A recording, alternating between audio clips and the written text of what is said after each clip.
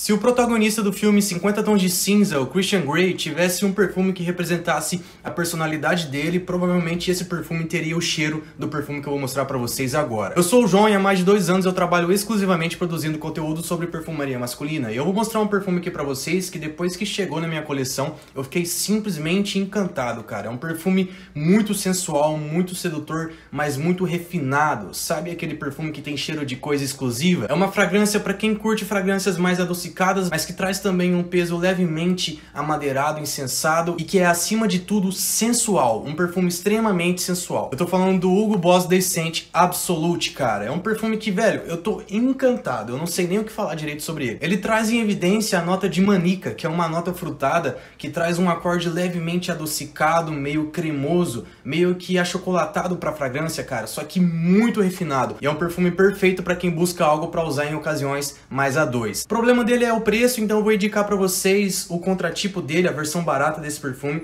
que é simplesmente fenomenal, cara. É um dos perfumes inspirados com mais qualidade que eu já senti até hoje. E é o L'Absolu Parfum da Indebox Perfumes, beleza? Esse perfume preserva todas as principais características do perfume original e traz também uma excelente performance. Mas não se engane, é um perfume de uma proposta um pouco mais intimista. Não é um perfume para chamar a atenção na extravagância, mas sim na elegância. Caso você esteja à procura de um perfume para usar em encontros a dois, um perfume mais chique, requintado, refinado, levemente adocicado e muito agradável, eu recomendo fortemente que você conheça o L'Absolu Parfum da Indebox. Está disponível lá no site da Indebox, tá passando o site e o cupom de desconto aqui em cima. Agora comenta aqui pra mim, você conhece o perfume de Hugo Boss? Você conhece o perfume inspirado da Indebox Perfumes? Quero saber sua opinião a respeito e compartilhe esse vídeo com seus amigos que também se interessam por perfumaria masculina.